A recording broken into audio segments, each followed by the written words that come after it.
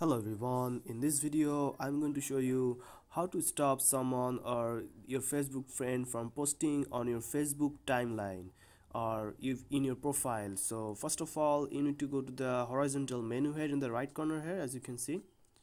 Tap on the three, three line menu here. Then you need to go down and choose the settings and privacy option and then choose settings option here. Tap on settings after that you need to scroll down and find profile and tagging option here. As you can see there's the profile and tagging option. Tap on it.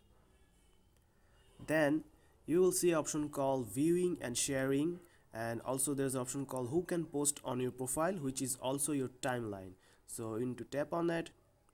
And as you can see I have chosen the only me option here. So if you have chosen the friends option here that means that your friends can post you on your timeline or post on your profile.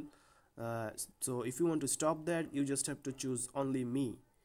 And that means only you can post on your profile or timeline. So other friends or people will not able to post on your timeline or profile here.